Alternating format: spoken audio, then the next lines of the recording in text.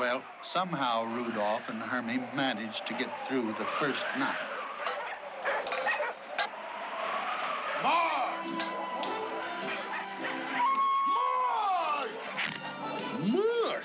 Don't you understand, North Pole talk? Mush! What's this? Hey, you get frostbite that away. Who are you? Who am I? The name's Yukon Cornelius, the greatest prospector in the North. This is my land, and you know, it's rich with gold. Gold! Gold and silver, silver and gold. Wahoo!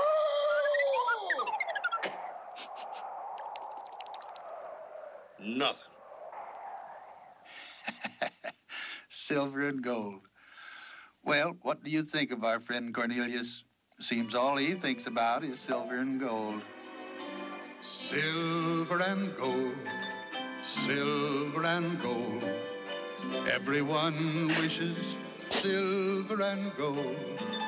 How do you measure its worth? Just by the pleasure it gives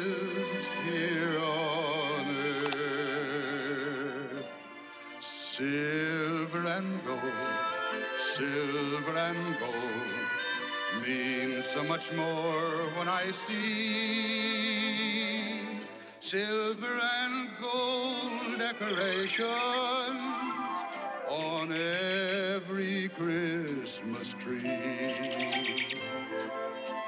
What's a Christmas tree without tinsel and pretty silver and gold decorations?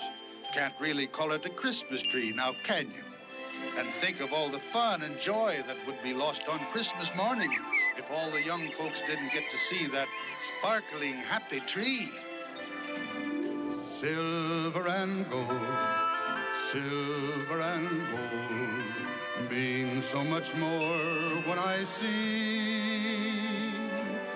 silver and gold decoration on it